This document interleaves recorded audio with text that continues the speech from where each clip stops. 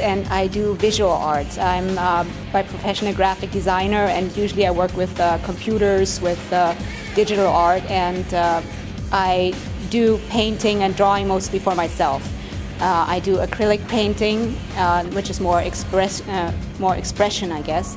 And lately, especially in the last year, I've been doing a lot of illustrations, pen and ink illustrations, that are a little bit more surrealistic, and I just draw basically what comes to my mind. And I try not to overthink it too much because uh, in the past I've been trying to take on really, really big issues and just make bombastic uh, uh, technical pieces out of things. And I found that in the end that doesn't work for me. I mean, really, if you have a big painting, uh, a war painting or, or, whatever, it doesn't really say much about the issues, it just uh, states facts. And uh, it doesn't do so much for uh, feeling uh, how people feel about issues. So uh, my inspiration now is more focusing on smaller things, on tiny little aspects of things that I see every day, let's say on, on TV or just going on a walk, seeing different things, and I work them together uh, to just either make nonsense or something whimsical, something uh, unique. And they tend to mean a lot of different things to a lot of different people in the end because uh, they are not really thought out to the minute, minute little details all the time. They're a little bit more uh, spontaneous snapshots of uh, different issues that, uh, that come up. Sometimes it can be political issues, philosophical issues, or historical things that come together. I've started using a surrealistic technique. It's called decalcomania.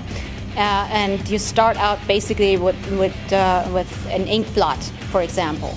You, uh, you make different color ink blots and then you look at what you see on the image and you start embellishing, you start taking away things, you start adding things on, and then you add, uh, add up to an image that is essentially something that you had in mind altogether already and just didn't know it. So uh, it's a very uh, um, common technique like automatic writing or different things that the surrealists used to uh, free up their mind and not overthink all the different issues that, that they were working on. It was meant to um, basically free up the mind from the stuffy intellectual thinking process of uh, making art available to only the elite that understands all those different tiny things. It was uh, meant to basically um, free up the thought and make it accessible to everybody because it is small things, spontaneous things that a lot of people can associate with.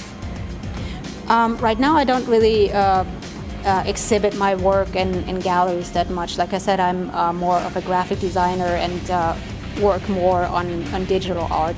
But uh, I do have a website uh, where I usually blog my new newest works, my newest um, things that come out, and I also write about different things that go on in the city, different art related things and usually I post um, all the different new things that I do on my website. But I'm trying to also make it make them more accessible to people if they would like to um, view them or um, maybe purchase a, a, a, picture of some sort. Probably they would have to contact me directly at this point, but uh, I'm working on getting a little bit more out there and showing people my art. That's definitely one of the goals that I have.